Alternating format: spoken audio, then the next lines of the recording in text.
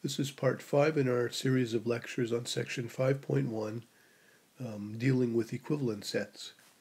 And in this lecture we're going to look at a few general results concerning equivalence of sets.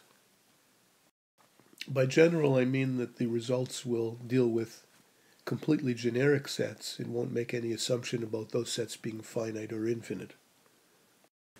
So let's start with four sets, and we'll, we'll make the assumption that A is has the same cardinality as C, and B has the same cardinality as D.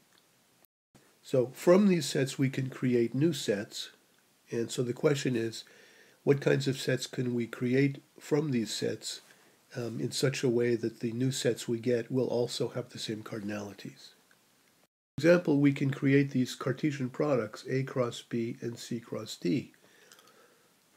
If we know that A and C have the same cardinality, and B and D have the same cardinality, do you think that we can say that these sets have the same cardinality?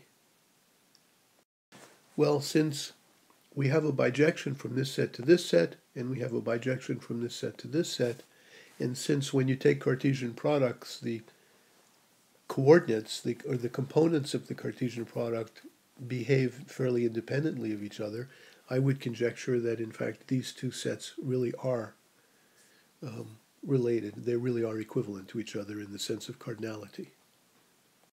Another kind of set we can create from these sets is we can take the union of A with B and the union of C with D. Um, if A and C have the same cardinality and B and D have the same cardinality, can we expect the union, the unions to have the same cardinality? Well, not really, because you see, when you take a union, if A and B have a lot of overlap between them, when you take the union, you don't really get much more than you started with. Uh, whereas if C and D have no overlap between each other, you get you can get something much bigger. And so you can't really anticipate, at least in the case of finite sets, you can't say in general that these would be equivalent to each other. But if A and B have no elements in common and C and D have no elements in common, then we probably should be willing to believe that they, the, the new unions, the unions will have the same cardinality. So that's a conjecture that we make. So we've got two conjectures here, this one and this one.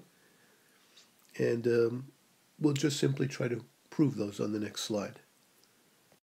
So we're going to state it as a theorem. We give ourselves four sets we suppose that A is has the same cardinality as C, B has the same cardinality as D, then in general, A cross B and C cross D will have the same cardinality. And if A and B are disjoint and C and D are disjoint, then the union will have the same cardinalities. The unions will have the same cardinalities. So let me start the proof for you. By assumption, this assumption says that there exists a bijection F from A to C, and this assumption here says that there exists a bijection G from B to D. So the idea of the proof is we have to use F and G to create bijections here and here. So here I've started, started you out in the right direction. I say let's define H from A cross B to C cross D. I'm trying to prove this one. And so the question is, what do you think would work? We know that we can map A to C bijectively via F. We can map B to D bijectively via G. How could we somehow use those to create a function that maps a Cartesian product to a Cartesian product? You start with an element xy in here, where do you think you should map it using this f and this g? Well, the most natural way to go is to take the x component and use f of x on it, take the y component and use g of y on it, and then just create an ordered pair out of it so as to give you an, yourself an element of c cross d. It's then not a very difficult exercise to prove that this function is in fact a bijection and I'm going to leave that for you to do as an exercise. So that completes the proof of uh, part one. Now let's look at part two. We have to see if we can create a bijection from this set into this set using the f and the g. So how should we define this function h from A union B into C union D by making use of f and g?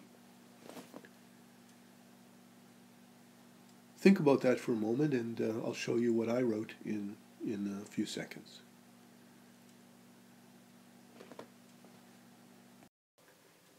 Well, what we do is, if x happens to be in A, you see, we take an x in here, it's in the union, and therefore either it's in A or it's in B. It can't be in both because of our, our assumption that A and B are disjoint.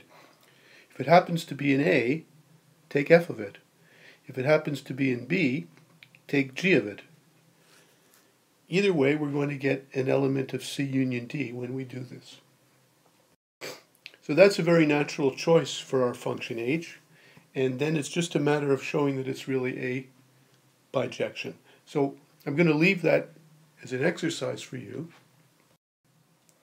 But we can talk a little bit about the idea of the proof. How would you prove that it's injective? Well, injective means you have to give yourself two x values in the union, and you're going to assume that h of them is the same. Well, either they're both in A or they're both in B, or one is in A and one is in B. If they're both in A, then when you take h of it, that's the same as taking f of those two values, um, and then you can use the injectivity of f to deduce that the x values are the same. If they're both in B, then you do a similar thing, but with g instead. Uh, if one of them is in A and one of them is in B, and you assume that the h values are the same, well, that can't happen, you see, because the h values would be f of one of, uh, f of the first x and g of the second x, which would mean that uh, um, the image of the first one would be in C, and the image of the second one would be in D. Um, it's impossible for those to agree because C and D have no elements in common by this assumption here. So we really need these assumptions in the proof, and it really shows up. So that case 3 simply can't happen, and, and so that completes the proof of injectivity. For surjectivity, that's a little bit simpler.